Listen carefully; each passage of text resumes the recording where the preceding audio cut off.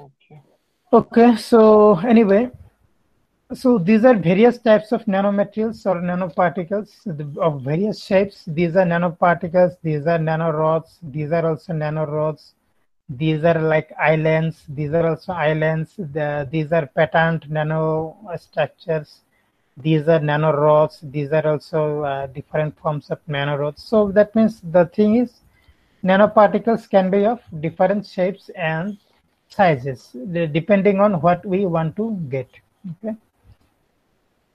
Okay, so uh, these are uh, these cuvettes or vials uh, have semiconductor nanoparticles, and why they are of different colors?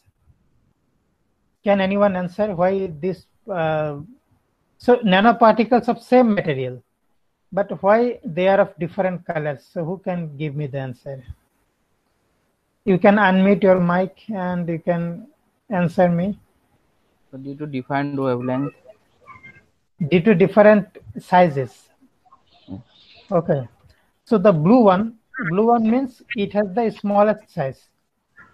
And this uh, red, like almost equal, almost close to red, it means the particles are largest in size. Okay. And uh, blue blue wavelength, blue wavelength is shortest, right? You know this, no VIBGYOR, V-I-B-G-Y-O-R, VIBGYOR. So blue wavelength is the shortest and red wavelength is the longest. Shortest wavelength means energy will be higher, Higher. right? And longest wavelength means energy will be lower because energy band gap and wavelength are inversely proportional to one another, right? You know this already, E equal to h nu, nu is frequency or E equal to hc by lambda therefore E inversely proportional to lambda or wavelength. Okay, so they have uh, so these nanoparticles in these uh, vials you can see they are of the same material, but at the same time they are of different sizes. Different sizes means of different band gaps. Okay? And why they appear color? So such color you may not be able to see in the room light or um, like if you are in a normal room. But if in a dark room you see the background the background is dark. If in a dark room you illuminate these vials the vials containing different sized nanoparticles with uv lamp ultraviolet lamp. Then you will see different colors coming out of this nanoparticle solutions. So in fact, this was our plan no, earlier when we started the project back in January, February. So this was also our plan no, because uh, for semiconductor nanoparticles, so like we would synthesize nanoparticles of different sizes.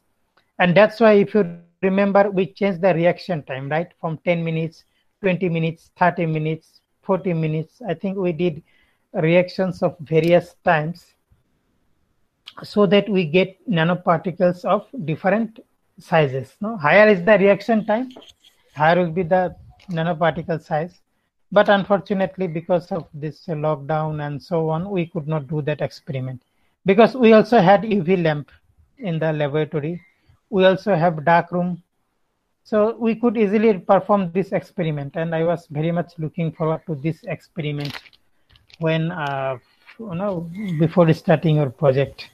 But anyway we could not do it no problem. But this is what you understand now now so uh, nanoparticles of various sizes or various uh, or different uh, band gaps okay so now comes the most important thing why why suppose if the uh, external asks you external examiner why are you working on nanoparticles so how would you explain? Your first answer would be because nanoparticles have very large surface to uh, volume ratio compared to bulk materials. So what is surface to volume ratio? Very simple. We have also studied in theory. So S by V, S means surface area, V means volume. Suppose we have a spherical nanoparticle, okay. It can be cubic also, so no matter. Uh, it may be of any shape. So we are taking spherical because it is easy to calculate for a sphere. So if you just calculate surface to volume ratio, so this much 4 pi r square by 4 by 3 pi r cube, it is 3 by r. That means the surface to volume ratio is inversely dependent on the radius of the particle. So capital R is the radius of the nanoparticle. Okay. This means smaller is the particle, greater is the S by V value. Yes, smaller is the R radius, greater will be the surface to volume ratio. So, as a material is reduced from bulk dimension to micro and then to nano dimension, surface to volume ratio continues to increase with reduction in size. It is clear from here.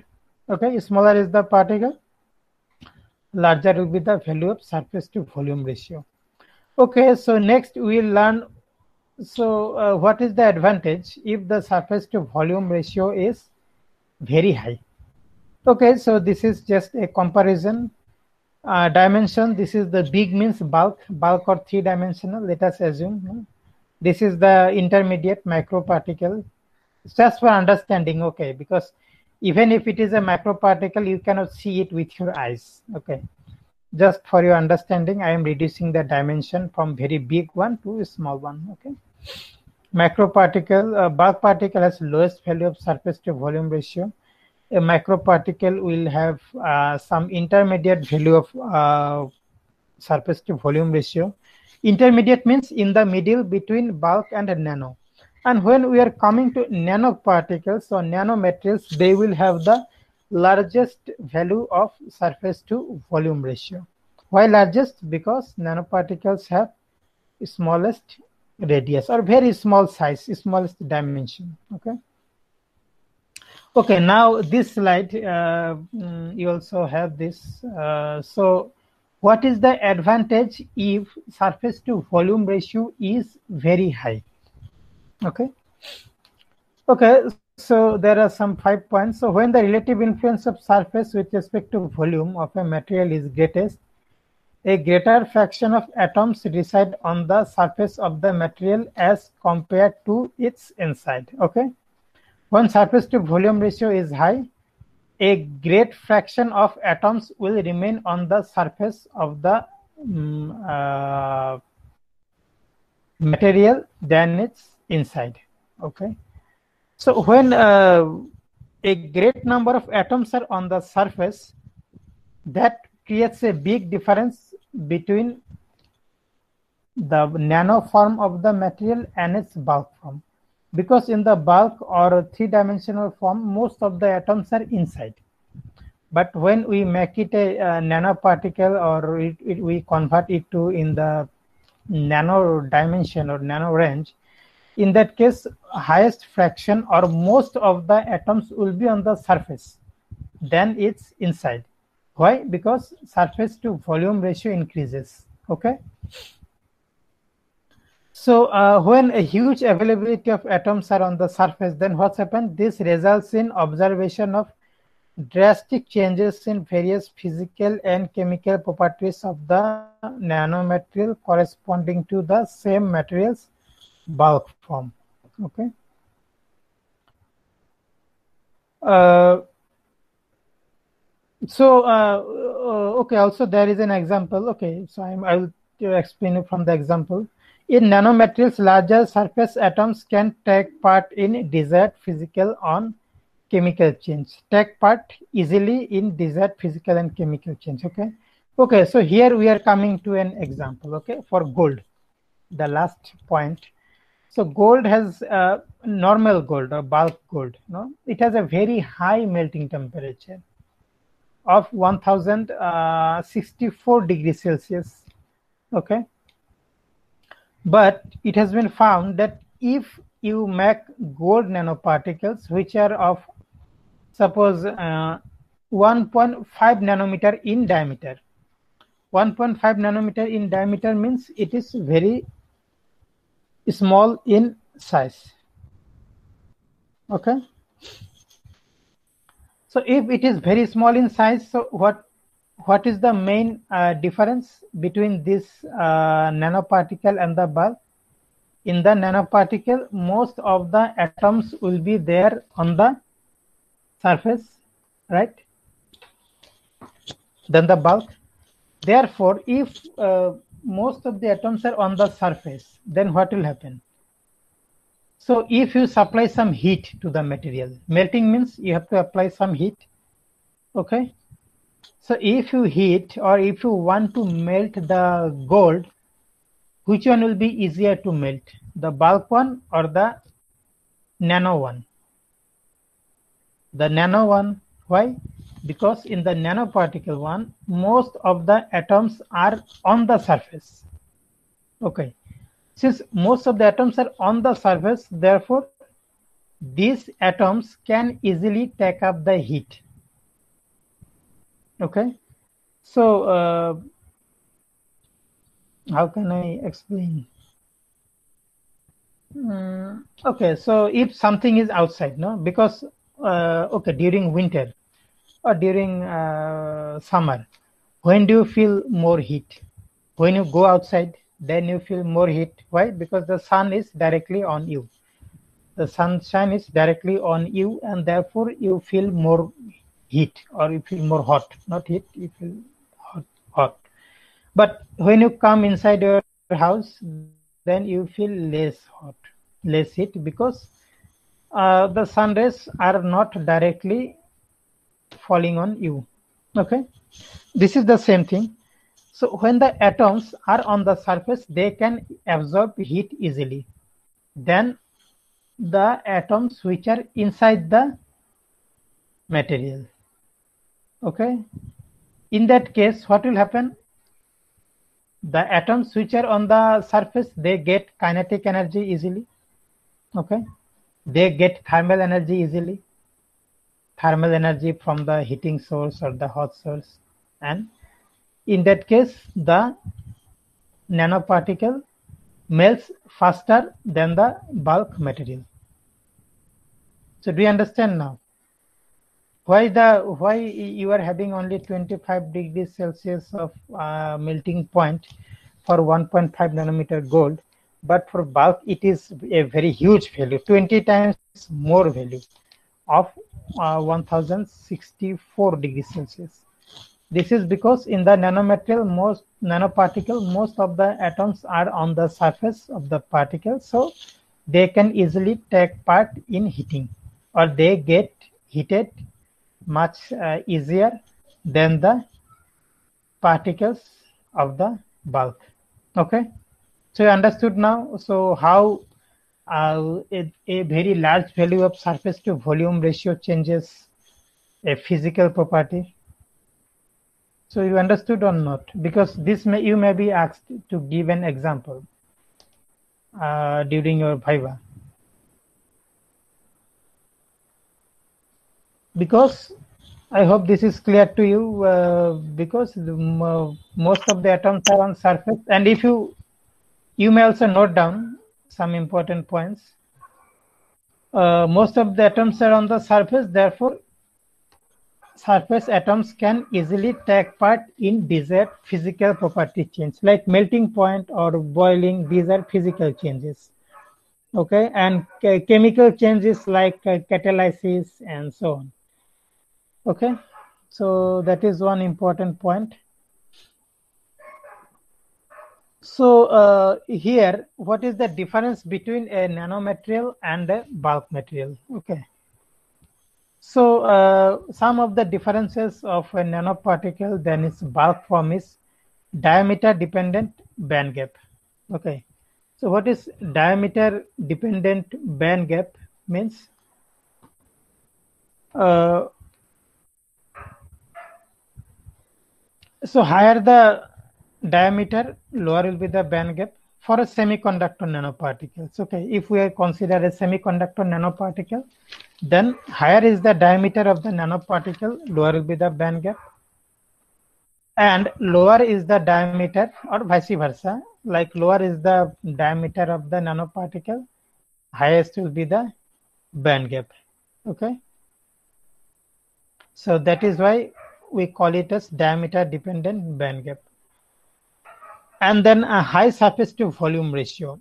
So as we understand, as we have already learned that nanoparticles have high surface to volume ratio that we have already learned.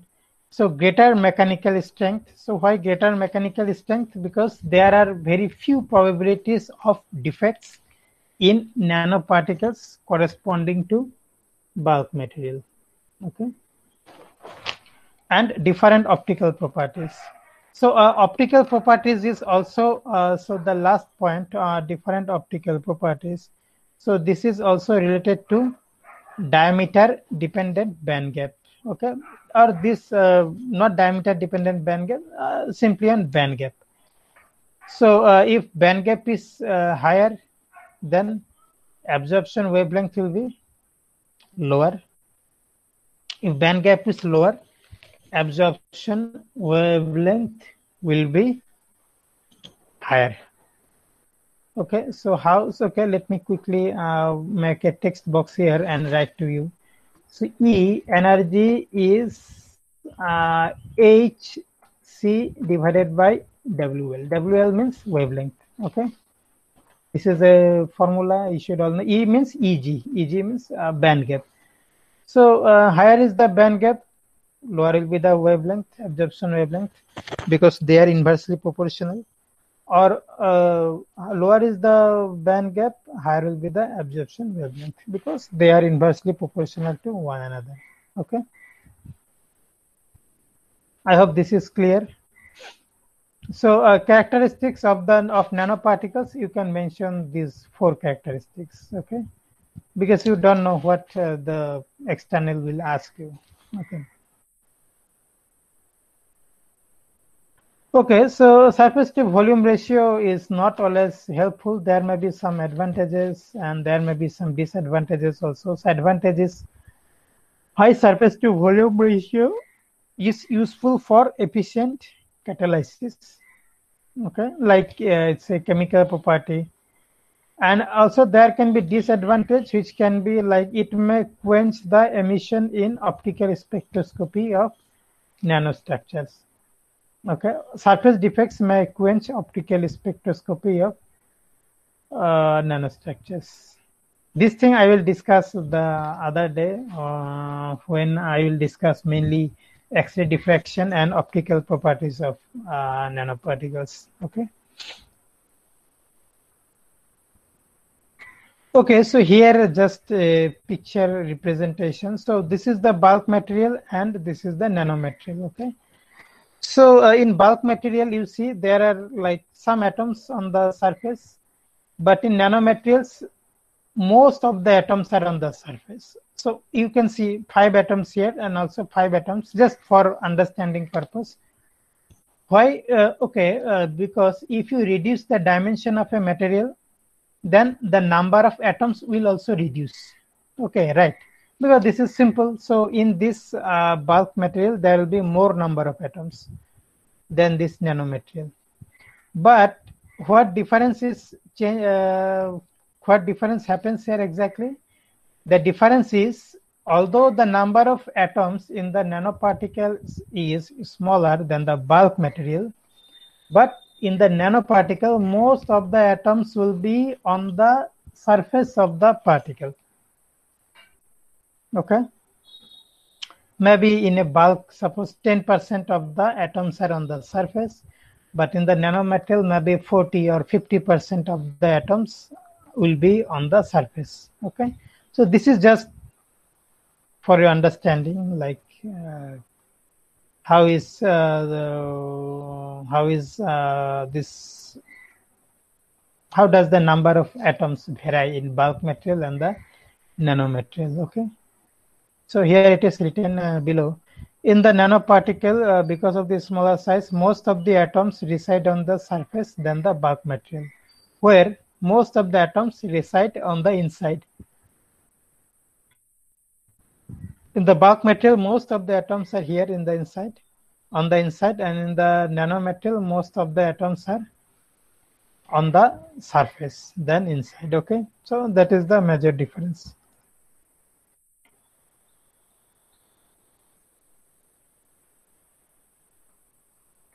Okay, then I think we will move to the concept of quantum confinement. So, uh, if possible, I will uh, upload this video uh, in uh, Google. Uh, Google means YouTube, sorry, YouTube, so that uh, you can also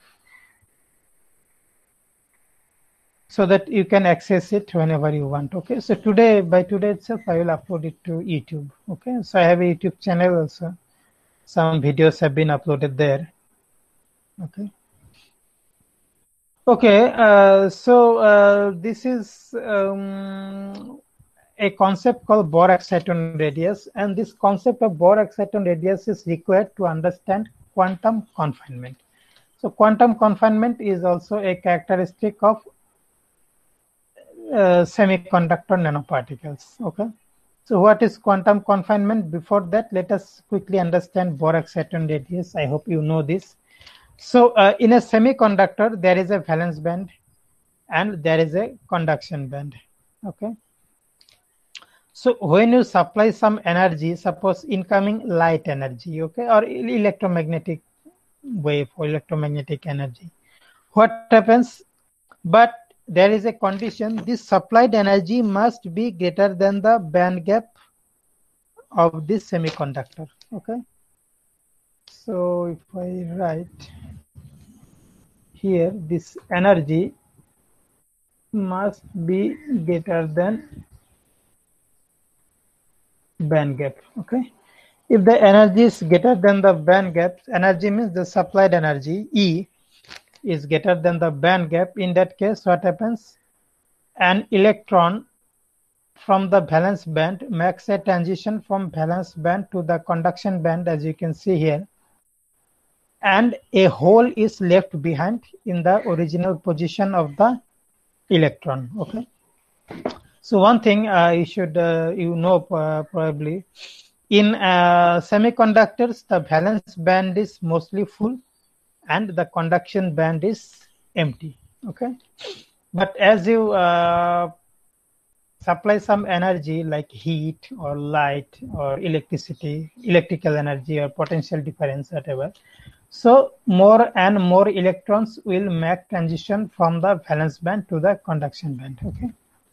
So this is hole and this is the electron and uh, this electron and hole are, hole are actually uh, combined by a very weak uh, coulombic force no? The coulombic force means the electron is negatively charged you know and the hole is positively charged. So there is always a coulombic attraction between the hole and the electron. And this uh, separation between the hole and the electron how far they are this is uh, known as uh, exciton bohr radius. Okay. Okay. Okay so uh, i hope this is clear to you. And uh, two types of excitons are there. So this electron hole so it, yeah the electron hole combination is known as an exciton. Okay so yeah, I hope this is clear. So excitons are two types. So one is Mott Wannier and the other one is uh, Frenkel. So Mott Wannier type excitons are mostly found in semiconductors. Okay. And uh, weak, they have very weak electron hole interactions. And uh, Frenkel type are found in uh, organic semiconductors. Okay, you should know this difference. Okay, so then comes a very, very important concept of quantum confinement. Okay. Okay, so what is the, okay, quantum confinement we'll learn in a while. Uh, yeah. So today we will learn up to density of states and then we'll finish today because on uh, tomorrow, sorry, tomorrow also I will call you once again, mainly the zinc oxide group, to uh, learn more about X-ray diffraction and optical properties. Okay, so what is quantum confinement? So, okay, this is not quantum confinement. This is a result of quantum confinement. So you know uh, that uh, the band theory from the band theory of solids. So for semiconductors, metals, and insulators. Okay, so I suggest all of you, all of you, like if you are working on uh, zinc oxide nanoparticles, or if you are working on a gold nanoparticle, so you uh, revise band theory of solids. Okay, like how this energy bands, like valence band, conduction band, uh, these bands are formed in a solid, you revise it from your solid state physics or condensed matter physics class, okay? Because that will be required mainly to understand the optical properties or quantum confinement of these nanoparticles, okay? So, okay, the first one is a bulk semiconductor. It has continuous, so this continuous color blue, this is also blue, the valence band and the conduction band is blue, continuous. Continuous means uh, energy levels are very closely spaced. Okay, very closely spaced. So energy levels of uh, the valence band and conduction band. Okay.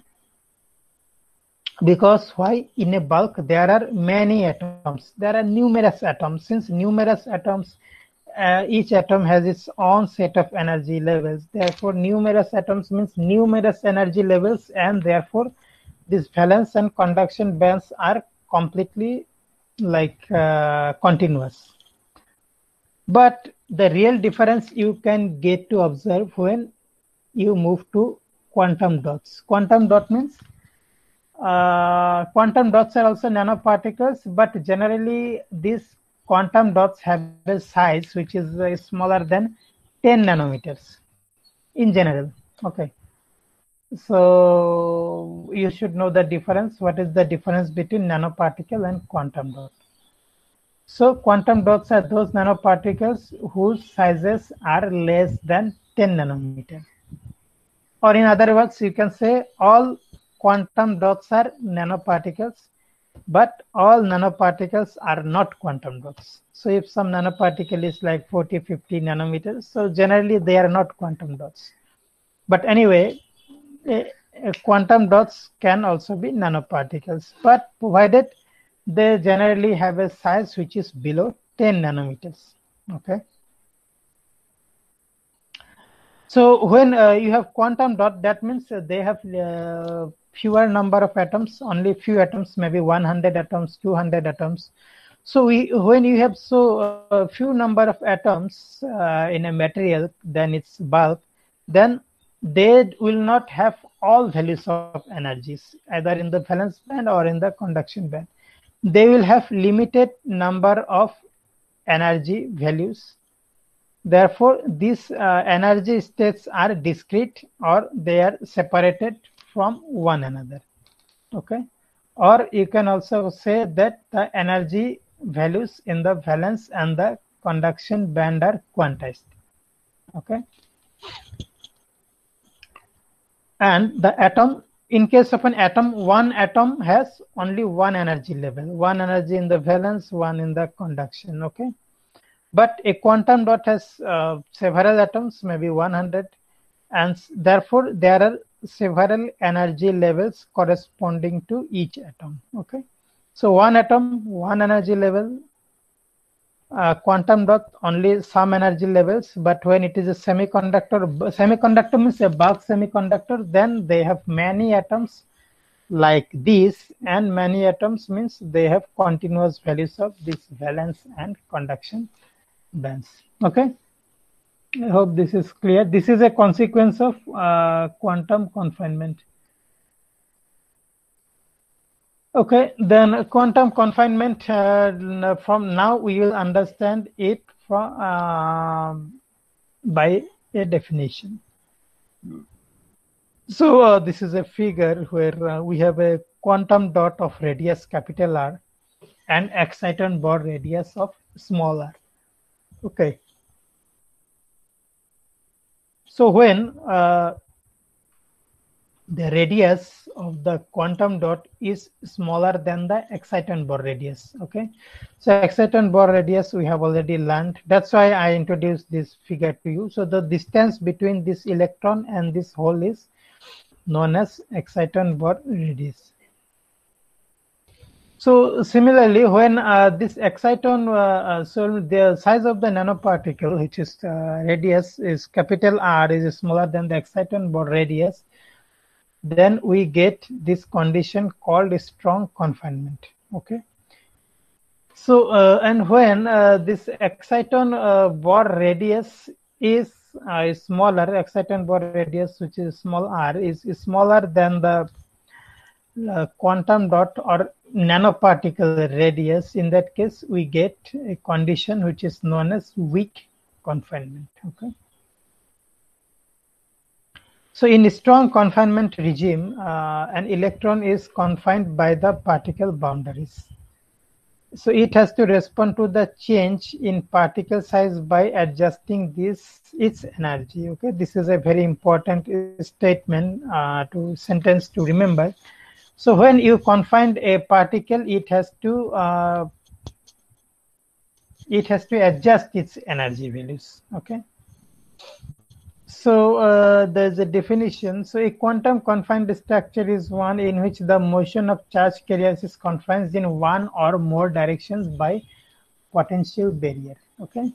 Potential barrier means the energy barriers or the energy barrier which the particle or a charge carrier which the charge carrier will require to overcome okay suppose uh, uh, you are suppose in the worst case scenario you you find that some your enemy has confined you to a like very narrow wall okay? So you can see that there are some walls around you and you are confined to a space of like i don't know maybe one meter by one meter. So how you can overcome uh, so you are confined there okay? How you can overcome that is a different topic. So you are confined in a very narrow space okay? So or in other words you are confined when you are like mad captive in a very narrow space. So similarly a, an electron or a hole uh, may also be confined in a particle. The confined means it cannot come out of the particle. Why? Because it experiences the boundaries of the particles. Okay? Or boundaries means potential barriers that means the energy of the particle must be larger than the potential barriers so that the particle can overcome the potential barrier. Okay. So in if this has to happen thus the particle has to change its energy okay or its energy values will change. So considering that there may be three types of confinement. Uh, uh, so this table, uh, all of you have like mentioned in your thesis. So structure, confinement and free dimension. So for a bulk material, the charge carrier is free to move along all dimensions. Therefore, free dimension is three, but confinement dimension is zero. So confinement plus free dimension should be equal to three in all the cases. In bulk, free dimension is 3, confinement is 0. Similarly, in a quantum well, quantum well or two-dimensional uh, nanostructure, the free dimension is 2 and confinement dimension is 1. Quantum wire or one-dimensional nanostructure, the free dimension is 1 and confinement dimension is 2. Similarly, quantum dot the free dimension is 0 and confinement dimension is 3. That means in a quantum dot, the charge particle is not free, is not free to move along in any direction. So it is completely confined, it cannot move. and that is why it is confined to all three dimensions. Okay, and that's how uh, the free dimensions and the confinement values keep on changing from shapes of the nanoparticles okay okay so a uh, little bit of quantum mechanics here. So uh, so uh, in basic quantum mechanics so all i hope all bsc and students msc students have studied about uh, quantum mechanics. So uh, a free particle has continuous values of energy. So energy E is h cut square by k square by twice m or uh, h cut omega. So this is the expression. and this parabola uh, means uh, free particle. So k no this energy is proportional to k square okay? K is the wave vector. If you know wave vector is the k. Ek diagram this is an ek diagram. E is the energy k is the wave vector and you know that uh, if y equal to x square is the type of the graph or plot you have to make it is always parabolic like this okay? That's why it is uh, parabolic. So um, this is the case e proportional to k square. So this is a continuous parabola or continuous means the energy values of a free particle are continuous so we don't have to go for the derivation right now because such derivations you might have done in your regular coursework. So for here, you have to just remember the relation. Uh, the energy of a free particle is continuous and uh, of the form of a parabola like this okay but there is a difference when uh, you have a confined particle why is the difference because confined particles don't have continuous values of energies. Confined particles have discrete values of energies, just as we have shown here. So quantum dot is a quantum dot is a like in quantum dot electrons or charge carriers are confined, therefore they have very discrete values of energies, be it valence band or be it conduction band. Okay and that is why so this parabola is again this parabola is again that for this free particle this one. So continuous parabola for free particle but for confined particles along this only certain energy values will be there. E1 e2 e3 e4 okay? Why? Because if we come here now, particle in a box model, very famous model in quantum mechanics. All of you have to study this particular model. So the energy eigenvalue of a particle, of a charged particle confined in a potential well is proportional to uh, is equal to E. Okay, we are not going for derivation because that is not required uh, now. Uh, you can find this in any quantum mechanics textbook. So En is proportional equal to uh, n square h square by h ml square. So n is like uh, an integer like 1, 2, 3, so on. h is a Planck's constant and in the denominator m small m is the mass of the charged particle this one which is confined and l is the confinement length confinement length means so this is a particle these are the potential barriers and confinement length means the distance between these two potential barriers is capital L. So the important thing to note down here is that the energy of the particle which is confined in a potential well is directly proportional to n square. n is integer. So how it comes? It comes from quantum mechanical conditions because if you remember, we have to consider the wave function uh, from Schrodinger's time uh, independent equation, right? You can check your uh, quantum mechanics textbooks, the derivation is there. So from there, uh, how this n comes? So the n comes from that quantum mechanical derivation, which is given in any standard quantum mechanical textbook okay? Quantum mechanics textbook. Okay so you see en the energy of the particle is proportional to n square no, okay? So gives the allowed energy okay box. Or e1 e1 means if n equal to 1 so it will be 1 square h square by 8 ml square. 1 square means 1 so it will be e1 equal to h square divided by 8 ml square Therefore, E2 will be 4h square by 8 ml square. E3 will be 9h square by 8 ml square. This is the ground state energy for a particle in the box, which uh, is the energy of the lowest state. Ground state means E1 is the ground state energy of particle in a box model. So you remember this expression En equal to n square h square by 8 ml square. Now I am going back to the previous slide where we have seen the energy of a confined particle. Okay. Okay. So I am changing the uh, title of this slide free and confined particle. since we are also showing the energy of the confined particle here, so I have to just change the heading. Okay. Okay, so here E1, E2, E3, E4. So why are these E1, E2, E3, E4 values discrete or they are not continuous along this parabola because of this reason. En is equal to n square h square by 8 ml square or En is simply proportional to n square. Okay, so E1, E2, E3, E4. So our E5 will be here somewhere, E6. So it will just go on. Okay. So E1 means one, h square by 8 ml square, E2 is 4 h square by 8 ml square, then it will be 9 uh, E1, it will be 16 E1 and so on. And therefore the energies are quantized or discrete.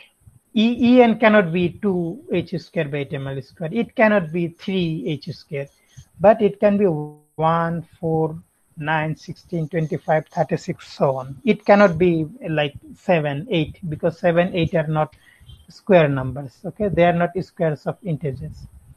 And for this particular reason, because of this n square dependence, again, I am going back to this slide.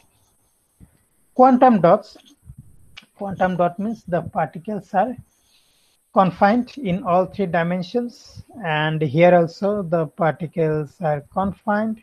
Where? Here particle is confined. Therefore these quantum dots have discrete values of energies. Discrete means like one uh, like 1 e1 2 then 4 e1 9 e1 so like this they will have discrete values of energies which we can show from this particular model particle in a box model so is it clear uh, up to this for you? Why they have like uh, discrete values of energies? So I hope this should be clear to all of you. And if you have any confusion, just you can go back to your quantum mechanics textbook or you can do Google search. In Google also, like you will get a lot of particle in a box model derivations or theory. Okay. Okay, so next thing is the density of states. Density of states is uh, this. Uh, density of states note is given to the MSc students. Okay, and uh, for BSc, density of states derivation uh, things are not completely required, but you should just know what is the density of state. Density of state is the like the number of energy states in per unit interval of energy. Okay, there are some mathematical things so, uh, okay, I will quickly explain this density of states. So 3D material is the bulk material. So it has continuous density of states. You see this uh, curve, E, e is energy and D is the density of states. So I think all of you have mentioned this particular uh, figure in your thesis. So E is the energy, D is the density of states. Okay, this is continuous. But if we are coming to a quantum well structure, quantum well structure means the particles are confined to move along only one direction. So if you see, so you see the width of this material. So this particle or a charge carrier is confined to move along this uh, this particular width of this structure. That's why it's a well. Well means no uh, well is kind of this form. Look, the particle is confined to move along this length, but it can move along this or uh, along this. So anyway, in three dimensional, if you can imagine this. But the particle can move along this and the particle can move along this, okay? This and this, but not along this if you consider three dimension okay. So in quantum well uh, they have uh, not continuous uh, density of states. This is continuous but here uh, it is not continuous. It is step like function okay. Step like means they are discrete. So this is not continuous. So this begins to get a discrete or quantized nature. The if you are reducing the dimension of a nanomaterial to two of a bulk material to two dimension or one dimensional confinement so then how its uh, density of state is changed? Its density of state is changed from uh, the continuous behavior to the discrete behavior okay? So now if you further reduce the size of this material to one dimensional one dimensional means the electrons can move only along one dimension and other two dimensions are confined. So here you can see. So this uh, width and this breadth they are confined. But the electron can move along the length.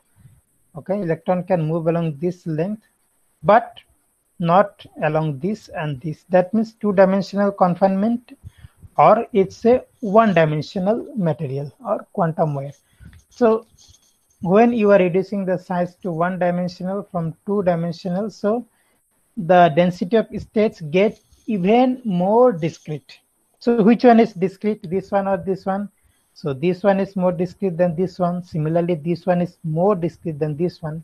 Okay. Uh, and uh, if we come to the quantum dots or the smallest nanoparticles or nanostructures. So in quantum dots, the confinement happens in all three dimensions and therefore this energy uh, density of states are heavily or highly quantized. So the density of states you see, you, okay, you compare with the quantum wire. So here the density of states are like this, but in case of a quantum dot, the density of states are single lines. Okay, this particular function, uh, this curved function you can see here, this one or this one, they are absent. So in case of a quantum dot, they are single single lines okay so they become even more quantized okay but if i uh, okay quickly i will draw something here quickly. Uh, draw okay so okay this is for a quantum dot okay. So now if I if you just ask me what is the density of state of an atom, so the density of state of a single atom is like this. Okay, so same along uh, x-axis there will be E energy value and along y-axis there will be dE density of states. So if I just write E along x-axis and then uh, d uh, bracket E the density of states. So, so this is for an atom. Let me write it down. This is the density of states for an atom. Okay. So uh, for an atom, the density of states is nothing but a single line. But quantum dots as i have already mentioned you recently uh, in quantum dots the density uh, uh, quantum dots have some hundreds of atoms right therefore they have such lines okay there may be more such lines but each each such line represents an atom. Okay you see this one line second first line second line third line. Each such line represents the energy or density of state of an atom. Just like here this is the case of an atom okay? Single atom but this is for quantum dot and if you just go, go on increasing size like to a quantum wire they get a bit complex uh, um, density of states. Then for uh, quantum well two dimensional uh, no, quantum well a two dimensional material some step like function. And for a bulk material a continuous density of states. Okay? So I think uh, this is uh, all about for today. And tomorrow we will discuss optical properties of nanoparticles.